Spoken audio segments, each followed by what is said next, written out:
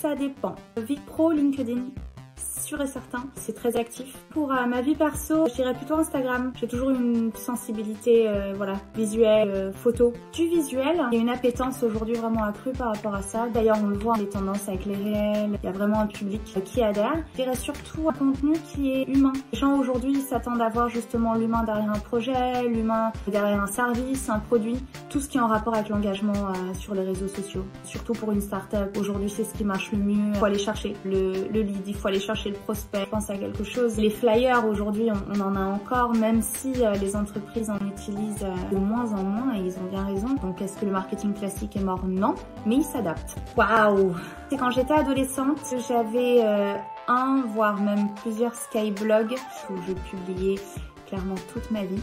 Compliqué, on travaille sur ça justement. espace virtuel, c'est ça. Numéro 1, Work Adventure, c'est des espaces virtuels pour pouvoir interagir, faire du networking, collaborer, travailler, chiller, pourquoi pas.